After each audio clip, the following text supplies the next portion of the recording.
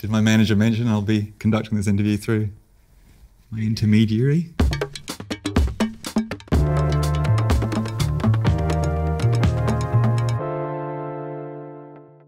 I have a terrible memory, so this will be good.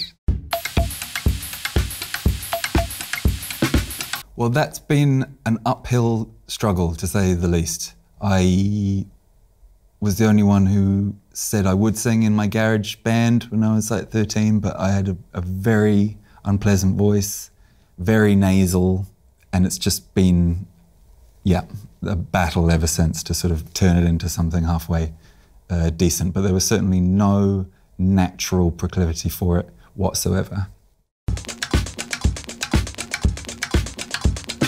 Well, I did. I was partial to a, a bit of the old busking back in the day outside um, Countdown, saving up for for ciggies.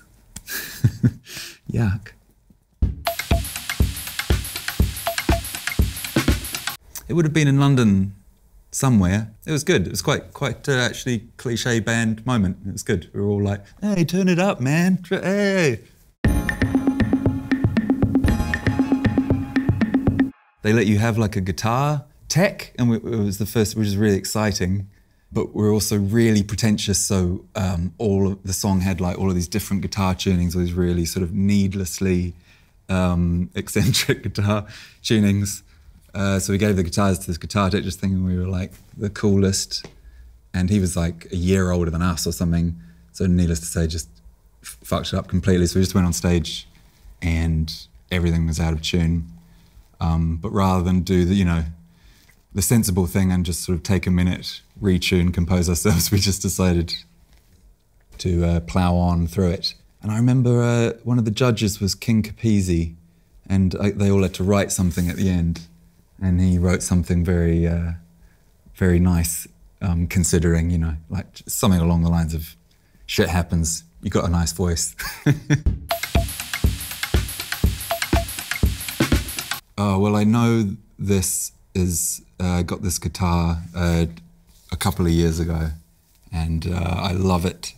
It has this smell. It's like made out of the of rosewood of a church door, the back of it, this old church door somewhere in southern Spain. Whenever you open it, it just smells amazing. And it sounds so beautiful. I love it. without a doubt, Diana Ross. She ticks off a few of the first. I'd say first show, um, first uh, like celebrity crush, first person I wanted to be like.